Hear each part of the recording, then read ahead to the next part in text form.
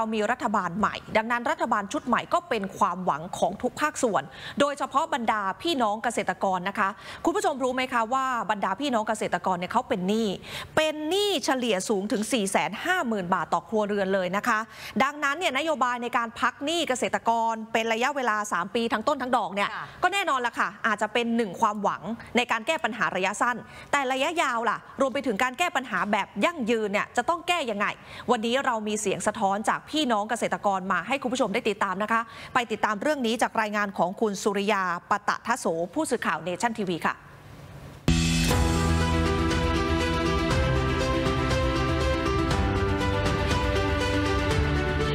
แม่เป็นหนี้ทกสแสนหนึ่ง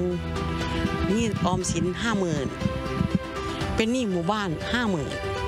เยอะยังจบนะหนี่ก็จอกกระแจงไม่ไล่นี่แหละทำนา หนี้สินทั้งหมดกว่า 2 0 0 0 0 0บาทที่นิตยกุลสายสุขเกษตรกรบ้านนนรังอำเภอเมืองจังหวัดขอนแก่น กู้มาทำการเกษตรทั้งเลี้ยงสัตว์ทำนา และยังกังวลว่าจะนำเงินที่ไหนมาใช้หนี้สหกรณ์เพราะเพิ่งขายวัวยกคอก แต่ขาดทุนไปกว่า 40,000 บาทหนี้สินส่วนใหญ่หมดไปกับค่าเมล็ดพันธุ์ ค่าไถ ค่าหวานอื่น ๆ จิบปาถะ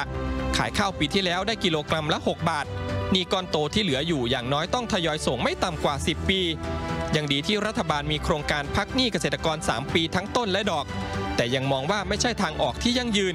วิธีเดียวที่ทำให้เกษตรกรรอด ต้องทำให้ราคาผลผลิตดีขึ้น มันสามปีนี่มันก็มีเหลือหนี่อยู่ มันก็ดีนิดนึง ไม่ได้ดีเยอะดีเพราะว่ามันไม่ได้ปลดมันไม่ได้ปลดหนี้มันมีหนี้อยู่เหมือนเดิมแม่ว่าที่เกษตรกรจะรอดต้องทำต้องให้มีผลผลิตมีราคา เป็นข้าวเป็นมัน ทุกอย่างที่เกษตรกรทำขอให้มันมีราคามันก็ได้ นิตยกุลซ้ายสุขเป็นเกษตรกรที่เข้าข่ายหลักเกณฑ์การพักหนี้ของรัฐบาล โดยต้องมีหนี้ตั้งแต่ 1 0 0 0 0แสนถึง 1 ล้านบาท ส่วนเงื่อนไขอื่น ๆ ต้องรอความชัดเจน แต่ไม่ว่าจะเป็นเงื่อนไขใด หากทำให้สามารถลืมตาอ้าปากและมีรายได้เพิ่มก็พร้อมที่จะให้ความร่วมมือและปฏิบัติตามแผนที่รัฐบาลวางไว้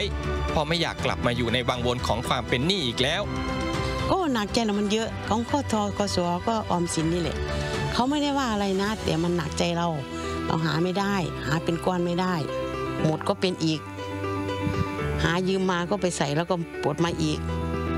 มีข้อมูลที่น่าสนใจจากสถาบันวิจัยเศรษฐกิจป่วยอึ้งภากรระบุ เกษตรกรไทยมีหนี้เฉลี่ยมากถึง 450,000 บาทต่อครัวเรือน และมีแนวโน้มเพิ่มขึ้นอย่างต่อเนื่อง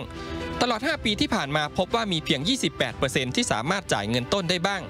แต่ 56%ชำระหนี้เพียงบางส่วน และอีก 16%ไม่สามารถชำระหนี้ได้เลย ขณะที่รองศาสตราจารย์ดรภูมิสิทธิ์มหาสุวิรชัย อาจารย์คณะเศรษฐศาสตร์มหาวิทยาลัยขอนแก่น ในฐานะผู้อำนวยการสถาบันเศรษฐศาสตร์และสิ่งแวดล้อม และทำวิจัยเกี่ยวกับเรื่องข้าวมองว่า รากเหง้าของปัญหามาจากภาคการเกษตรไทยไม่ได้รับการพัฒนาเท่าที่ควร สินค้าหลักอย่างเช่น ข้าว อ้อย ยางพารามันสำปะหลัง ราคาตกต่ำเมื่อเทียบกับประเทศคู่แข่ง ผลผลิตต่ำต้นทุนสูง จึงทำให้เกษตรกรไม่มีความสามารถในการชำระหนี้ เป็นเหตุให้หนี้ครัวเรือนสูงตามไปด้วย การพักหนี้เป็นการแก้ปัญหาระยะสั้น แต่หากมองระยะยาว รัฐบาลต้องสร้างเงื่อนไข เพื่อให้เกษตรกรมีแรงจูงใจในการปรับรูปแบบการผลิตใหม่ เพื่อให้เกิดรายได้ที่มั่นคงนี่อาจจะเป็นโอกาส ก็คือเราอาจจะต้องสร้างเงื่อนไขให้เกษตรกรว่าเฮ้ยคุณพักหนี้แล้วเนี่ยคุณต้องปรับรูปแบบการผลิตใหม่ไหม เพื่อทำให้ผลผลิตมันเพิ่ม หรือทำให้ต้นทุนมันลด หรือทำให้เกิดได้ทั้งสองอย่างก็จะยิ่งดีเลย เพราะผมมองว่าถ้าเราแก้ปัญหาที่มันเป็นรากเงาได้ผลผลิตต่ำต้นทุนสูงนำมาซึ่งผลตอบแทนรายได้ต่ำได้เนี่ยสุดท้ายเนี่ยถ้าเกิดเราทำตรงนี้ได้เนี่ยการจัดการอย่างอื่นมันจะมันจะง่ายแล้ว นี้สินเกษตรกรเป็นปัญหาระดับชาติ และเป็นโจทย์ที่ท้าทายสำหรับรัฐบาลเศรษฐาในการพิสูจน์ฝีมือ ว่าจะนำนโยบายมาปฏิบัติได้จริงมากน้อยแค่ไหน ต้องรอติดตาม